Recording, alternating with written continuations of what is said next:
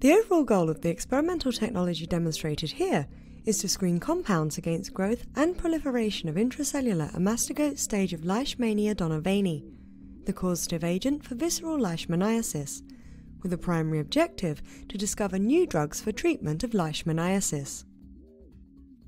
First, THP1 human acute monocytic leukemia cells are differentiated in vitro into adherent macrophages.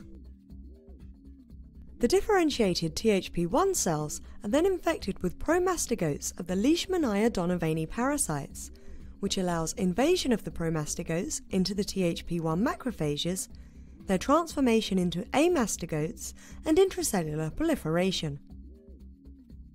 Next, the Leishmania infected THP1 macrophages are exposed to test compounds and standard drugs, and then undergo controlled lysis, rescue of amastigotes, transformation of residual amastigotes to promastigotes, and quantification of promastigotes by colorimetric cell growth assays. Results were obtained that show the anti-Leishmania effect of test compounds and standard drugs on intracellular growth and proliferation based on quantification of intracellular amastigotes. Leishmaniasis is a major global health threat, especially in tropical areas of the world. New drugs with better therapeutic profiles to treat this disease are urgently needed.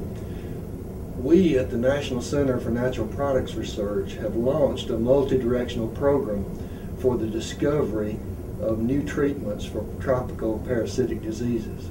Unlike reporter gene and microscopic image analysis assays, which may not differentiate between the live and dead